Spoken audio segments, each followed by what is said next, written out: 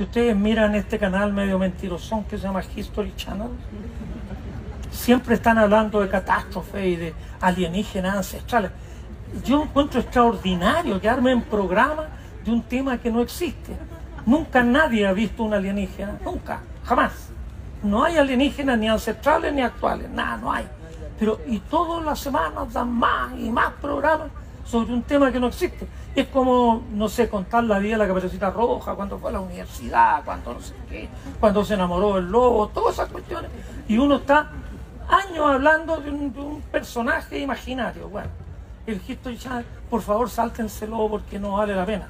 Yo rara vez he visto algo que cuando lo, por primera vez lo vi en el cable, uy, el canal de la historia, a mí me encanta la historia, pero ese canal es lo más mula que hay, lo más mula.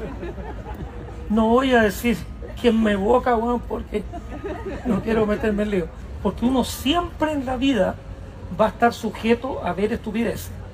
Es imposible, es imposible prohibir la estupidez, no se puede. Pero uno puede evitar que produzca ningún daño. Y eso se evita estudiando, estudiando, estudiando. Si el pepino, esto que yo tengo debajo de mi gorro y tú tenés debajo el tuyo, si uno lo ejercita y lo ejercita, uno dice, esto es una tontera, esto es una tontera, esto es una tontera, y se queda tan fresco.